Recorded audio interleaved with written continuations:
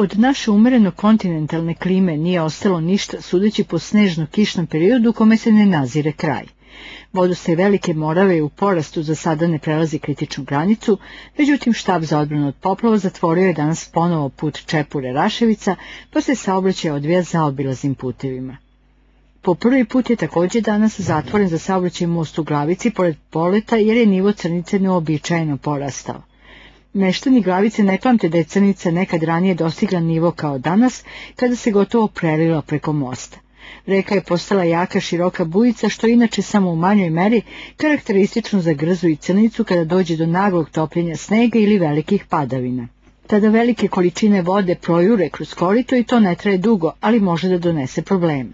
U Davidovcu su preduzete sve mere da se spreči da reka poplavi kuće, postavljeni su džakovi sa peskom duž ugrožene obale, a u toku ranog popodneva nivo grza na tom mestu je počeo da opada, pa u štabu za sada procenjuju da nema opasnosti od daljeg izlivanja.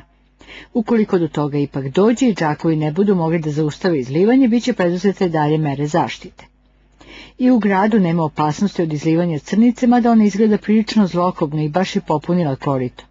Viška vode i to popriličnog, međutim ima u Vidovdanskoj ulici, te je prepunjena atmosferska kanalizacija, pa su na šahte stavljeni džakovi sa peskom.